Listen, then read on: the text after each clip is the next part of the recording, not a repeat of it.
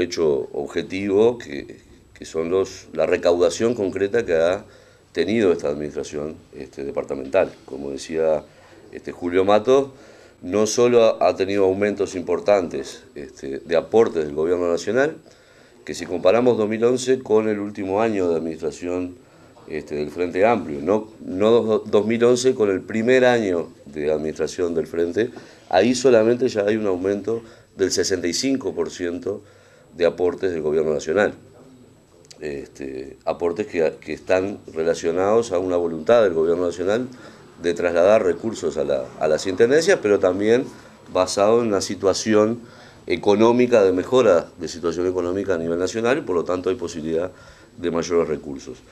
Pero también ha habido aumentos este, de la recaudación de los propios tributos este, departamentales, es decir, lo, que aportamos este, los, los floridenses. Si uno mira las, las obras que estaban previstas en el presupuesto quinquenal,